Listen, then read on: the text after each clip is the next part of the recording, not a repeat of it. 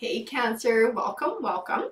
Uh, we're going to start your read here with these fortune cards, sort of set the tone, see if we're talking about uh, love, money, transition, maybe a new job, maybe there's warning, someone you need to look out for, and as I said that, I had a bunch of cards fall out. And it looks like Spooky McGill here is going to join us on this read, so let's see what we got. So we have Fool. Have the courage to embrace change, take risks, be adventurous. So I feel like Tarot is encouraging change here today. Maybe you're in a transitional period and having trouble um, sort of seeing seeing things in a larger scope to be able to recognize opportunities. Uh, we'll keep building on this with the Oracle cards. So universe, what does this Fool card mean to Cancer? Oh, and I got a few there, so let's see what we got. So I have smoke and mirrors, uh, which can speak about sort of truth, sometimes honesty, a sacred reverence, which can speak of um, heart and love and a deep connection, uh, sometimes with somebody, but sometimes just with ourselves as well. I have Divine Matrix, uh, which represents how everything is intertwined and how it all happens for a reason. Close Encounters definitely speaks to interpersonal relationships.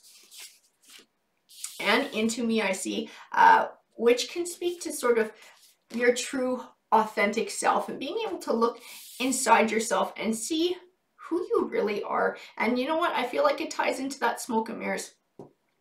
And being your honest self, putting your honest self forward, being who you truly are, not trying to hide anything. And I feel like we might be talking about that within a relationship with somebody as well with that close encounters card.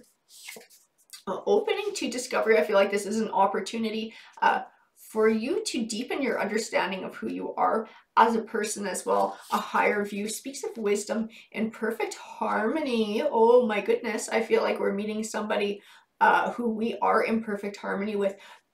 This might be why tarot is stressing this. This might be your person. This might be the one who is coming along. Waking the Lion speaks of empowerment and a willing release, which I feel like is also speaking to this leap of faith and just taking a chance on being yourself, letting go of those insecurities. Oh, I feel like this is, we're meeting somebody very special in our lives here though.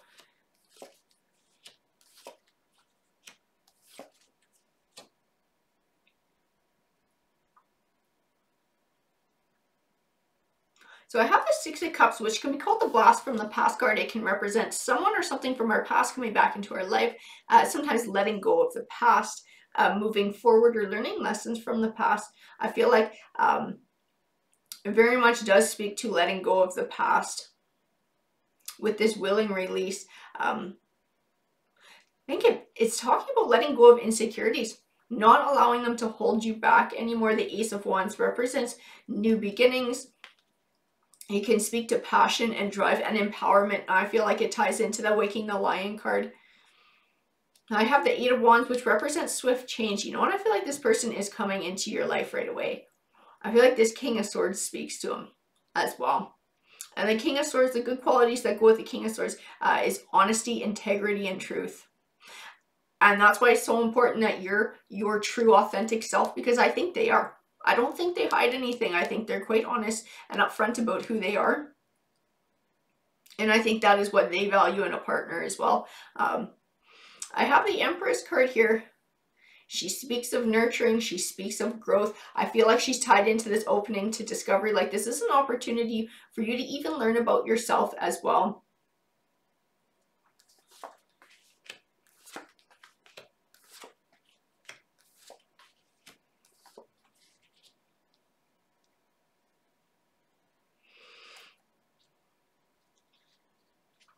The Three of Swords, which represents heartbreak.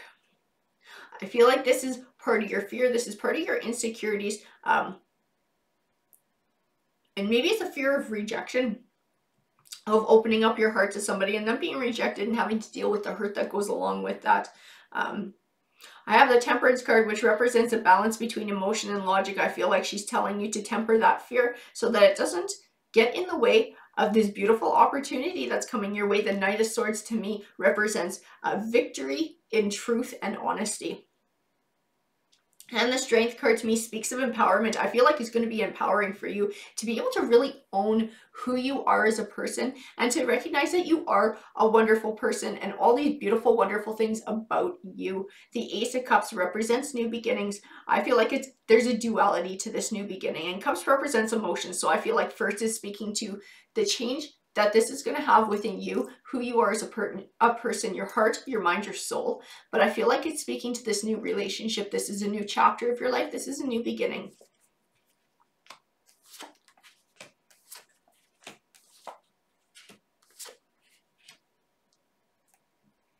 I have the Tower card here. I feel like the Tower card is also It's like this Three of Swords. This is what you fear. You fear this sudden and unexpected ending. You fear this rejection. You fear opening up and then having your heart broken. The Two of Swords is your indecision and being able to let go of these insecurities and to move forward and, and to sort of bury your heart, but be your true, honest self as well. I have the Six of Pentacles, which represents an even give and take and i feel like it's speaking to abundance as well. I feel like the abundance is the love that you're going to get in this new romantic relationship but i feel like it will only come with an even give and take. That honesty that openness. The emperor card represents success so i feel like there's definitely a potential of finding success in this relationship. The moon card can speak of things that are still unknown to us. I feel like it's actually tying into this person that you don't know who they are. You haven't met them yet but they will be coming your way.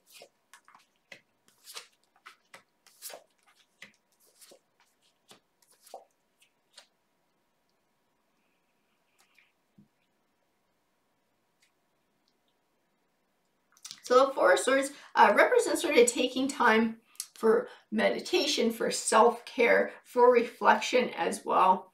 And looking after yourself, I feel like it's tying into this, the smoke and mirrors, the into me I see and really sort of taking time to to think about who you are as a person to reflect on that.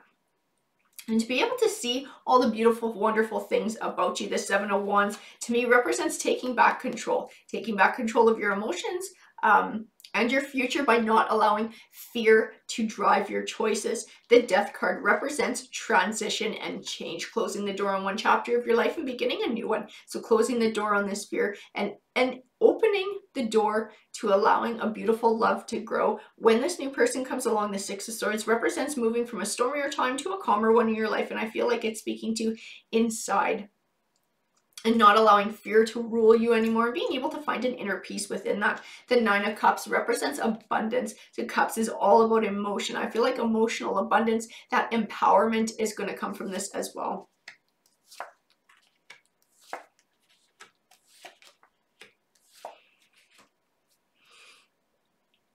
So the Ten of Wands can represent feeling overwhelmed or overburdened. I feel like that's what this fear is to you.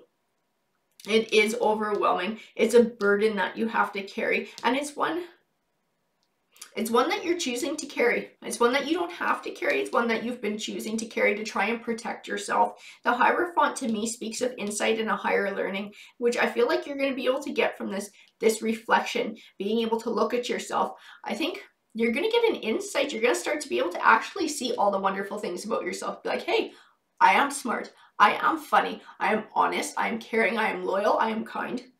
And I'm a good catch. And I think once you realize that, that's going to cause you to see yourself and the world in a new way, as this Fool card represents. The Fool card also speaks of taking a leap of faith, which change always is for us. But I feel like that is where you're going to get the, all the tools that you need to be uh, successful, as the Magician card speaks to.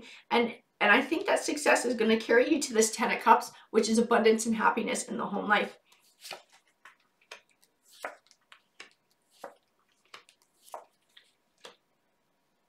And I feel like you've been going through the world this way for quite a while. I have the Nine of Swords, uh, which is a lot like the Eight of Swords, but it's the progression of that. So this has been carrying on for quite a while. The Nine of Wands uh, speaks of a journey over time. And the Five of Cups uh, can represent feeling stuck or trapped in negative emotions like hurt, grief, loss, or fear, so much so that you have trouble seeing positive opportunities around you.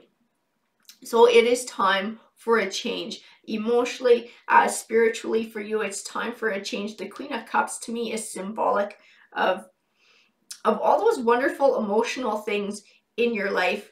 Um, so sometimes that empowerment that's going to come, that um, the love, uh, the happiness, all those wonderful things. Sorry, she got her claw stuck in my shirt.